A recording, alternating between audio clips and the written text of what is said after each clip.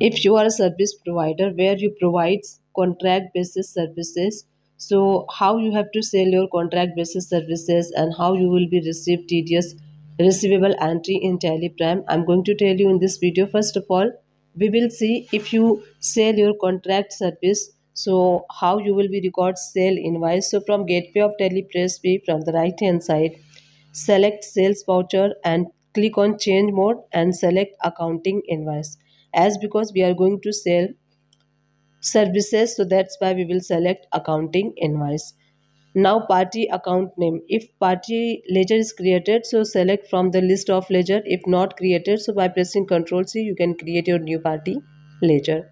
In particular by pressing ctrl c you can create your service sale.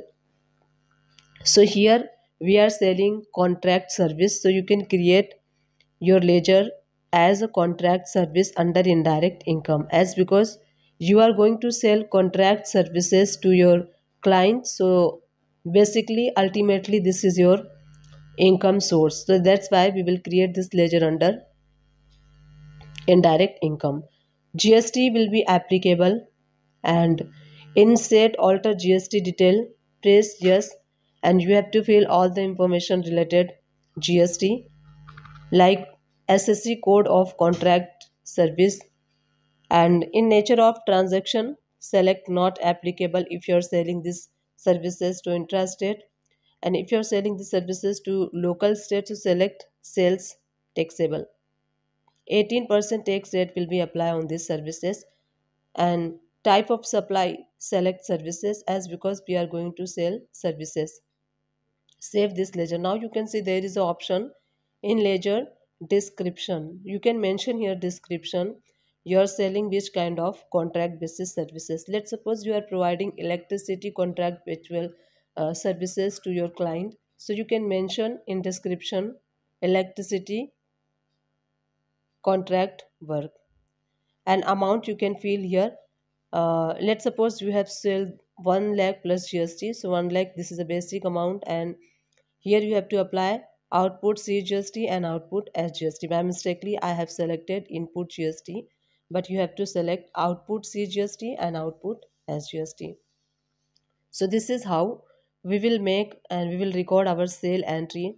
And after that, when party will deduct our TDS and we will receive TDS amount. So we need to book TDS receivable entry in Tally Prime. So from here, invoice value is 1 lakh 18,000 and TDS will be deducted on basic value and basic value was 1 lakh rupees. So 1 lakh rupees uh, 2% TDS will be deducted under section 194C. So by pressing Ctrl C, let me change the date of the invoice. Now let me open the ledger of the party. Here you can see the invoice is 1 lakh 18,000. If you want to calculate your TDS amount without calculator so you can use calculator and you can open calculator in Tally Prime by pressing control and calculator will be open and you can calculate your TDS amount. Basic value is 1 lakh rupees and we will calculate TDS amount at the rate of 2% so 1 lakh 2% will be 2000 so by pressing control A we will add voucher and here we will start booking TDS receivable entry. So we need to create TDS receivable ledger. So I'm going to create here TDS receivable on contract.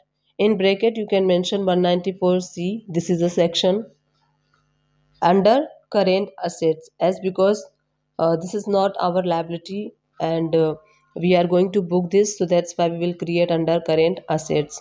So tds receivable ledger will be debit with 2000 as because 2% of 1 lakh rupees it's 2 lakh. So you can open calculator in Tally Prime by pressing ctrl n and you can use Tally Prime calculator. So 2000 will be debit and party will be credit. So this is how you can book TDS receivable entry in Tally Prime.